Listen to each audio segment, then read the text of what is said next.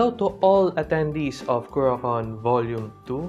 Thank you very much for having me. My name is Jay Agonoy and I come to you from the Philippines, one of the countries in Southeast Asia, and I am going to share what I know and what I've experienced here on our side of the world. So, the panel that we're going to discuss today is case studies on YouTube-based anime distribution model in Southeast Asia. Now, what we'll be discussing here on this panel discussion, on this presentation, is the introduction of the YouTube-based legal anime streaming model in Southeast Asia and the viewer sentiments regarding this model being implemented by two distributors and how can this be applied to other countries as well. Right, so let's get started with the background. August 15th, Kiss Anime is gone for good. You know, this this is one of the biggest, if not the biggest anime streaming sites right on the internet, serving lots of anime fans. Of course, this is an illegal anime stream. And as of August 15, early in the morning in our time, 7.15 in the morning, KissAnime support over at Discord said that our beta servers have been taken down and eventually they said that all files are taken down by copyright owners. KissManga and KissAnime will be closed forever. KissAnime's shutdown has happened coinciding with the enactment of the law that will bring stricter copyright laws in Japan Part of it will be implemented this October and soon enough by January 2021, Japan's copyright laws is set to be stricter. While the Kiss Anime shutdown did happen, coinciding with these enactments, Kiss Anime's moderators over at the subreddit said that no, Kiss Anime's shutdown did not have anything to do with Japan's upcoming copyright law. Anime fans who have been flocking to Kiss Anime are now puzzled where to watch their latest series or what to watch. Now, even if Kiss Anime said that they are shutting down for good, there are still clone sites. Clone sites who are still there to serve the people who are missing the habit of watching anime through Kiss Anime.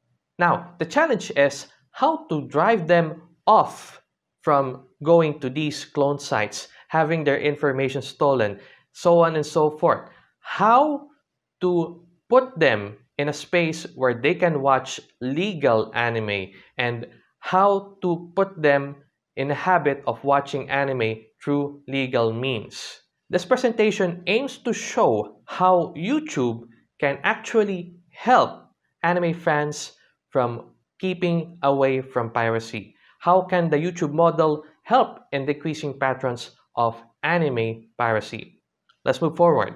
In Southeast Asia, there are two YouTube channels who are catering to anime fans. One is Muse Asia, which started uploading content in English subtitles around June 2019 and is one of the leading anime distributors in Southeast Asia in terms of YouTube. Next, we have Ani-One from MediaLink in Hong Kong who has uploaded videos since December 2019. First, they catered to the Chinese speaking audience, and now they are slowly catering to the English speaking audience, starting with No Game, No Life in English subtitles. Now back to Muse Asia. Muse Asia has around 1.3 million subscribers as of September 10, 2020, and they have the following titles so that's Diary of Our Days at the Breakwater, Lapis Relights, That Time I Got Reincarnated as a Slime, A Sister's All You Need, Monster Girl Doctor, The Ryuo's Work is Never Done, and they also have Bofuri.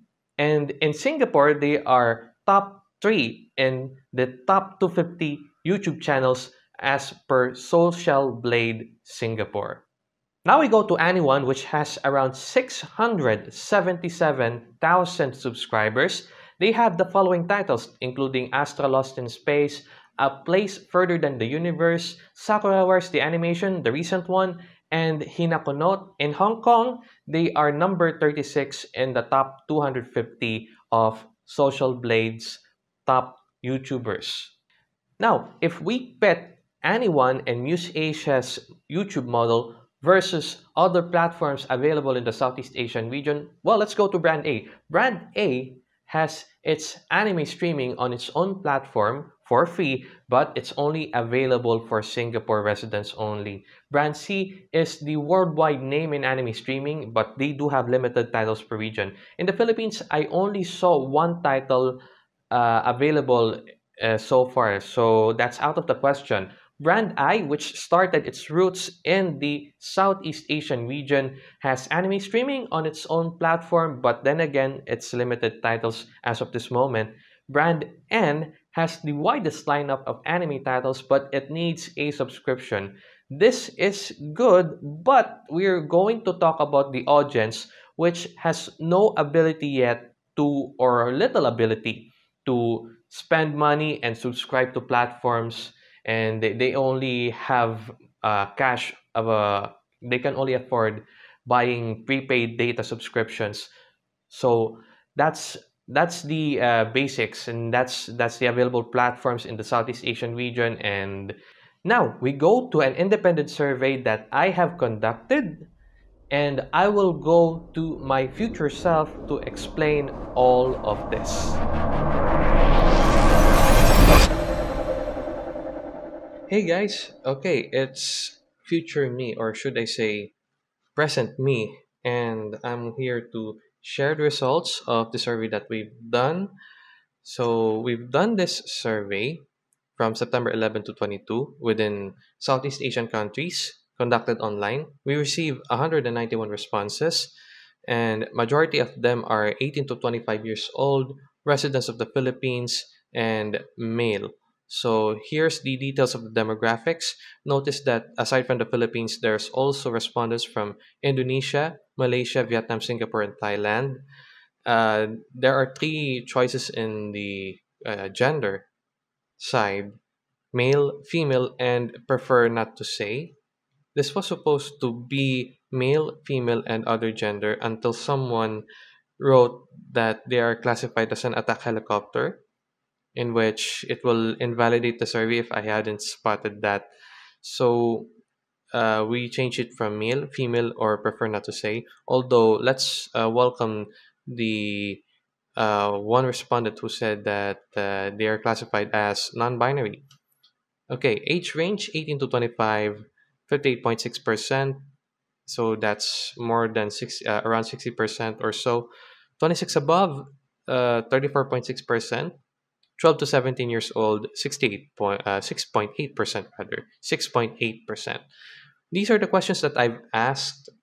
So one, where do they watch anime and are they following uh, are they following services available in their country? Have they watched anime on the following YouTube channels? That's Muse Asia and Ani-One. What is their impression of legal anime streaming on YouTube? How satisfied are uh, them watching legal anime on YouTube? And will they support legal anime streaming through the YouTube platform? Now, let's go back to that one slide where I showed you brands A, brands C, I, N, and let's give a more detailed uh, context on that. Plus Asia is brand A. Again, I said that uh, anime streaming, its advantage is anime streaming on its own platform, but it's available only for uh, residents in Singapore or uh, within Singapore, I've checked the site again if I can watch on demand uh, their titles, but unfortunately, still a no. Although I've been to Anime Festival Asia 2018 and I've tried watching anime on Plus, it's available there. So that's how I can say it. Brand C is Crunchyroll. It's a worldwide name in anime streaming, but it's more catered to uh, sites within the Western Hemisphere, like right now, uh, US and Canada, and in Southeast Asia, Crunchyroll has limited titles per region. So, uh, for example, I can watch episodes of Darling in the Franxx, but I, if I want the simulcast, I'll have to look for somewhere else because there's only around one to simulcast titles on Crunchyroll that is accessible in the Philippines. iFlix, its advantage is that it's one of the pioneering video on demand uh, websites, video on demand services. They have anime streaming on its own platform. This is in partnership uh, with Plus Asia uh, on their first try, and then I believe it's uh, uh, they're still in touch with Plus Asia for anime content. But the challenge here is that also they have limited titles on their platform. So uh, the last time I watched on iFlix is they, they, they have New Game and they also have Made in Abyss. Netflix is the worldwide uh, leader in streaming and they have a widest uh, they have the widest lineup of anime titles. But the challenge here is that you need to have a subscription to access the library.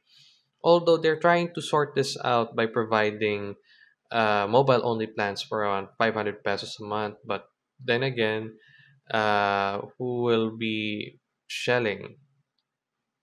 Or is it 500 pesos? Let me double check that. No, uh, but then again, Netflix uh, is trying to cater to the local audiences uh, with uh, lower income margins. So I'll check the mobile plan and I hope I can uh, clarify it. All right, let's see the plans. They have the 149 per month, so it's good for mobile viewing for ATP. But if you want to, like, say, watch it on a better quality, you can get the basic 369 pesos a month uh, that's around. That's around seven dollars, if I'm not mistaken. So yeah, uh, Netflix does cater to a spectrum of audiences. Although, as anime fans don't have the means of paying for subscription, monthly subscriptions, they will go to other places where they can watch anime without shedding uh, without costing money so let's go on to the first question where do people where do the respondents watch anime 78% watch anime on youtube muse asia Ani-One 47.1% watch anime on netflix brand n that's netflix 26.7% watch anime on other legal streaming sites, including iFlix and Crunchyroll, that's brands I and C, and 67.5% still watch anime on illegal streaming sites. But let's take a look back at the numbers. While 67.5% still watch anime on these illegal streaming sites, 78% of them said that they watch anime on YouTube. So that's already a plus for the YouTube platform. It's already the uh, it's 15 years old so there's there's more to come with the youtube platform and having anime distributed legally on the youtube platform is something it's a big development. So yeah we move on to the next question. Are the following services available in their country? So 92.7% of respondents said that Muse Asia and Ani-One on YouTube are available can be accessed in their country, while 72.3% of respondents said that Netflix is available in their country, while 53.9% of respondents said that other legal streaming sites are available in their country. Now, we go back to recap again. 92.7% of respondents said that Muse, Asia, and Ani-One on YouTube is available in their country. 78% of respondents who watch anime uh, watch anime on Muse Asia and Ani-One YouTube channels. So that's uh, that's big. That's already something. Of 92.7% uh, of respondents who have said that it's available, they uh, 78% of them watch. So the that's three fourths of the population that we have. But then again, three out of uh, four people who can access legal anime on YouTube watch there. Again, that's 3 out of 4 people. Now, the following question Where have you watched anime on the following or have you watched anime on the following YouTube channels? 70.7% watch anime on Muse Asia, 53.9% watch anime on the Ani-One channel. But here's the thing one in four people have not yet watched anime on both channels. So that means if uh, they want, uh, if the distributors want to fully saturate the market, they can tap in that uh, 25% audience uh, who has not yet been informed that these channels exist. They can either do it through word of mouth or they can do it through YouTube ads or online ads or Facebook promotion. Yes, yes, they, they're already doing it. So now the next question. What is your impression of legal anime streaming on YouTube? Now, this is a long uh, this is a long question with longer answers. so we have to categorize it into five praise, concern, suggestion, optimism, and others. So uh, for this one, let's go to the first category. People are praising the uh, this model is a better way. It's provided them a better way to watch anime, and they want more of it, uh, so that they won't need to, uh, they wouldn't need to resort to illegal means. And so, uh, this response here said, this respondent here said that uh, the respondents surprised that they upload the, the episodes same day at his as it has been broadcasted in Japan. And another response here is saying that streaming in YouTube is very convenient to those people who don't have Wi-Fi or enough load or data package to watch anime. In the Philippines, to give you context, there are some mobile data plans that gives an allotment for YouTube. For example, one gigabyte uh, that's already enough uh, for like how should I say it? For anime series for anime episodes on a mobile uh, resolution around 480p um, if I'm not mistaken. The one important thing that I want everyone to focus it here is that uh, people who are giving praise to this uh, model feels safe from viruses because it's the YouTube platform. YouTube doesn't serve uh, malicious uh, ads, malicious adware, malware, or sexual ads. The next category we have, of course, uh, we have praises and we have concerns. There's positive and negative reactions to this. Some uh, of the respondents say that uh, their concern here in this platform is again it's been the concern of everyone who is watching anime within the region. It's basically the lack of availability of titles that will make them resort back to watching anime on illegal sites again. So that's one point. Okay, and uh, of course, there's also uh, terms and conditions set forth by YouTube, and this has been derived from uh, country content laws. YouTube is based in California, if I'm not mistaken, so they are under, or they yeah, they are under the Online Prevention, uh, Online Protection and uh, Criminal Prevention Act or COPPA Yeah, that's that's much easier to say and um, there's also concerns here that they're not sure if this is really profitable for the distributor to distribute anime on the YouTube platform, but uh, we'll get to that later if that's the case. The next category, uh, more on suggestions, is of course following the concerns that there's lack of uh, available titles that can be accessed, that can be viewed a few more airing titles would be nice. And uh, there's also concerns about the community captions. Since youtube removed that ability for the community a few weeks ago. So the suggestion here one of the suggestions here is that the uploader the distributor needs to provide subtitles. So following that uh, hopefully they can find a good monetization model so that it can be sustainable like merchandising and such. For the record muse asia and Ani-One already have their online stores. Uh, this already activated, and even before the lockdown, even before these stay-at-home restrictions, Muse Asia, through its uh, uh, merchandise division Hakken, has been distributing or has been an exhibitor of Anime Festival Asia. They they sell lots of merch. They occupy big spaces, and they've uh, of course you can they can do it online. So uh, nothing, no one's left out on the latest anime goods. I believe, uh, but then again, this is more of a Singapore thing. And we move on now to the next category. People are optimistic on this distribution model. They would love to see what will happen to these distributors, Muse Asia and Ani-One. And uh, hopefully, legal anime streaming can reduce the need for illegal sites.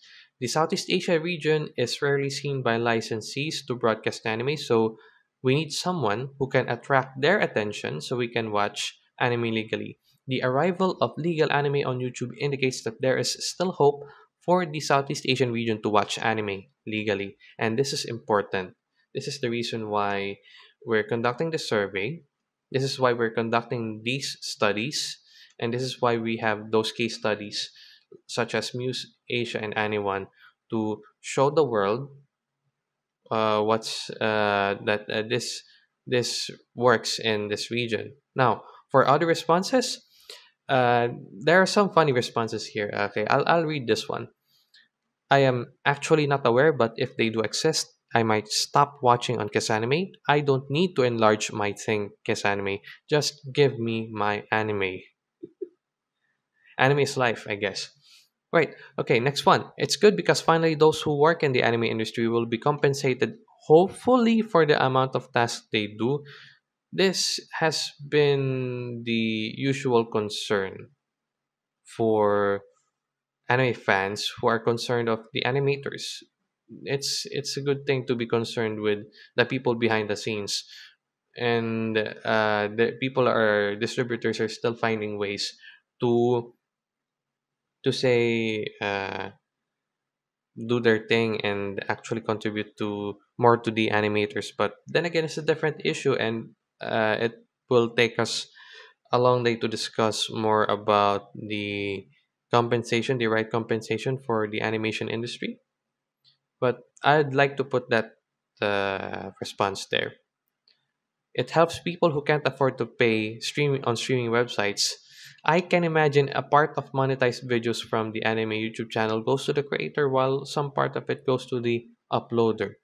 Or should we say the distributors, the the licensees. Uh, another one said it's uh, I think it's a great benefit that people can license these episodes and stream them if I remember correctly, they are only available for a limited time, so I think that is appropriate. It's similar to how some plays, concerts, and other stuff are available for free at a certain time. Japan has been doing this, especially during this uh, period of quarantine, uh, where events are not allowed to be held, mass gatherings are banned, and the the best thing that these distributors or these licensees or these companies entertainment companies can do is to share their stream online. And i believe in one of the panels here at, Kuro, uh, at volume 2 there's already a discussion on uh, on how to watch these online events so that's something you look forward to all right so now we move back to the breakdown of the categories. Again, since I've measured, uh, categorized these into five categories, there's more positive reaction on this platform. So many, uh, most people, majority of our respondents are saying yes to this. Now, question number five: How are you satisfied? Uh, how satisfied are you watching legal anime on YouTube? let's get to the results. I'm, I'm basing this on the Net Promoter Score. Uh, on a scale of 1 to 10, how satisfied is everyone watching anime legally on YouTube? So, uh, next slide we have here, okay, uh, we'll go back to the NPS. Uh, we a majority of, uh, of the people, 33%, are satisfied, mostly satisfied with watching legal anime on YouTube. So there's uh, more eights than nines, and then we go back to the net promoter score. There are uh, half of the population of the respondents said that they are very satisfied. So we'll label them as promoters. So 50.79%. Now, for the final question Will you support legal anime streaming through the YouTube platform? 99.5% of respondents said that they will support legal anime streaming through the YouTube platform. And that's already uh, one thing. So I guess uh, I've since I've shared the results of the survey, and for those who have responded to the survey, thank you very much for uh, sharing your thoughts on this. And after this uh, panel discussion, before October starts, you should be receiving an email from us saying that these are the details and these are the surveys. You will get a copy of the results as promised. So, with that said, I'll go back to my past me to discuss more of this.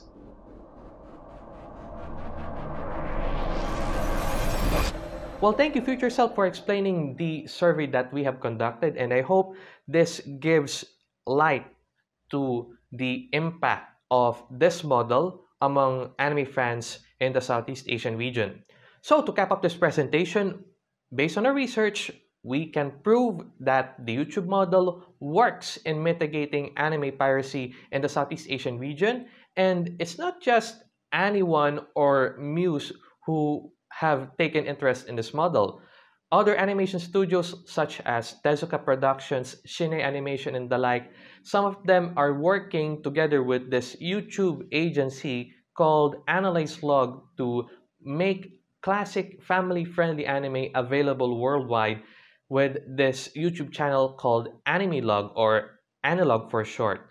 Now, in the Philippines, they have not yet released content, and uh, you can see on this uh, screenshot right here as of September 11 that they haven't uh, posted content available for the Philippines and uh, might as well check what's happening. Uh, basically, they said this in their community tab.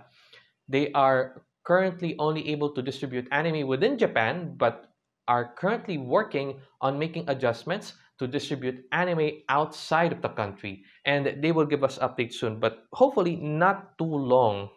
Because, of course, Analog is there to at least appreciate or to give appreciation to the classic anime and to bolster, to improve, or to elevate the appreciation of Japanese animation in a nostalgic way. So, aside from the nostalgia, I hope they do release other titles. Of course, that's the hope of every anime fan, including us in the Southeast Asian region, who are longing for an actual anime channel that will cater to all audiences. But then again, it's family friendly anime. I do personally think that H anime is out of the question right there. Then again, let's not forget the YouTube model of ad revenues and super chats, super stickers. Now, this goes to all of you as well virtual YouTubers who have applied and got accepted to open up super chats, super stickers, simping. In another definition, in the VTuber definition, is sharing your spare cash or like uh, let's say 50 pesos. That's that quite small amount that's multiplied to like hundreds and hundreds of viewers who are able to do so. And of course, that that amount is no joke. That amount is no joke. So the the these these distributors are already considering some of these distributors uh, I stand corrected are considering this model of course ad revenue is still there and you gotta stay for the ads don't don't skip the ads if you may this is how they pay themselves and then they pay the the rest of the industry and how this thing circulates now but of course there are still things such as the middleman problem uh, but that's for another story.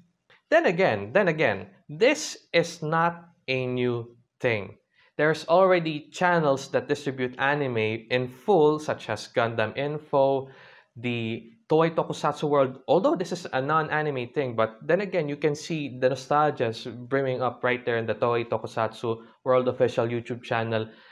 Shaider, Jaspion, the Metal Hero series, although it's raw, no subtitles as of now, but soon enough they'll have their own subtitles. Toei will notice that. Toei will notice that. And of course, even on a local scale, we have this channel called Anime Club PH, which is a reborn of the then famous anime club, which distributes uh, anime in uh, dub in the Filipino. Now, we look back at this report by The Hollywood Reporter. Netflix consumption surges 115% in Southeast Asia amid virus lockdowns. This is as per a research done by Media Partners Asia. And it's not just Netflix that's uh, getting more and more visits, more views, more watches, more people flocking in. All the streaming service that are available in the Southeast Asia region received a spike in visits, in views, because of all of these lockdowns, these stay at home restrictions.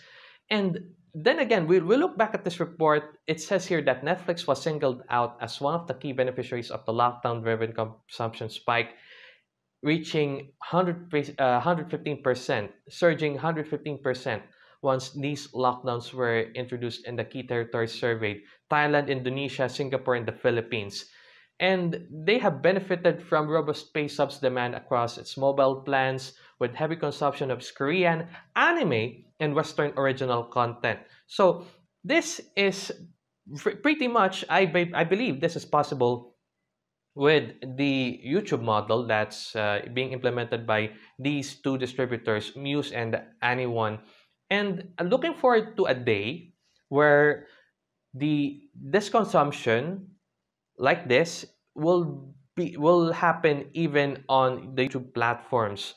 So, well, uh, this is one thing. This is why we're convincing basically all of you to uh, check out on your local distributors wherever you are and just ask them if uh, they will be doing this model. If not, it's okay, but we'd really appreciate if this model works in other countries because it worked in our region. There are still many opportunities for distributors to provide legit anime sources that people can enjoy and at the same time turn them away from committing piracy. So if this model works in our region, it may work in other regions as well. It will be just a matter of time before Japan realizes this and they're slowly realizing this through the analog project and i hope the analog project doesn't fail as much as other japan backed distributors we miss daisuki we miss uh, the other like there's this manga service called the J Manga Club if if you uh, or J Manga no? Uh, if uh, you remember I we of course the manga readers will miss that. And when we say that there are many still many opportunities for anime distributors to stream their anime titles legally and to benefit from it and eventually to benefit the animators who are working hard in this dire industry, here's what Vash the Stampede says. The ticket to the future is always open. Among other places, there are models that we have yet to explore, and this industry will not die that easily. No, it won't die that easily. So with that said, thank you very much for listening and watching this presentation. My name is Jay Agonoy and in the Philippines, I do blogs, I do vlogs, I do podcasts, and also in terms of VTubers, I also send super chats to them. So I know that this is a possibility. It's just people should open up to this possibility that we can also send super chats for our favorite anime characters. Well, that's for another story. You can check out the links on the slide. Again, thank you very much, KuroCon Volume 2 for having me.